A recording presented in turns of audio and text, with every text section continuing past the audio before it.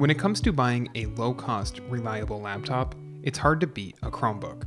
They're loved by millions of students, teachers, office workers, and just regular users for their versatility and ease of use.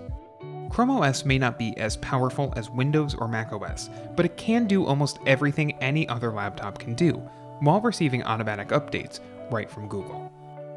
Thanks to the addition of Android apps in the Google Play Store, almost every Chromebook sold today comes with a built in touchscreen, which makes it easy to install your favorite apps and games like you would on any Android phone.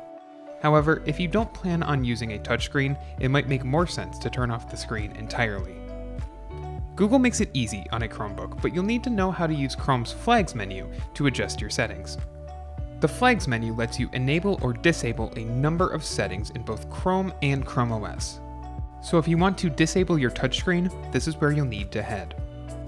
Launch Chrome, then head to your Flags menu. If you want to skip right to the proper setting, look for the Flags link in the description of this video. Otherwise, use the search bar at the top of the page to search for Ash debug shortcuts. This presents a list of options you can toggle on or off, including the option to change how your keyboard shortcuts work. Find the option for debugging keyboard shortcuts and click Enable, then restart your Chromebook. When you've logged back onto your Chromebook, hit the Search and Shift and T keys to turn off your touchscreen entirely. Pressing these keys again will re-enable the touchscreen. If you also need to turn off your touchpad, having this flag enabled also allows you to use the Search plus Shift plus P key shortcut to enable or disable your mouse.